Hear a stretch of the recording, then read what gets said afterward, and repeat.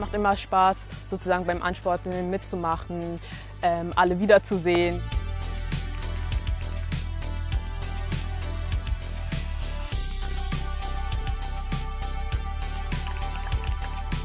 Ja, ich denke, dass die Leichtathletik relativ oder sehr familiär ist und jeder jeden unterstützt.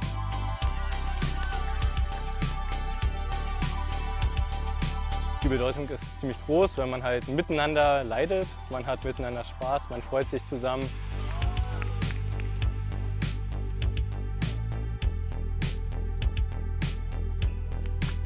Man ist ja in einem Verein drin und da kennt man die Personen. Auch wenn die unterschiedliche Disziplinen machen, ist man dennoch ein Team. Also alle in der Elgenaut, wir sind alle ein Team.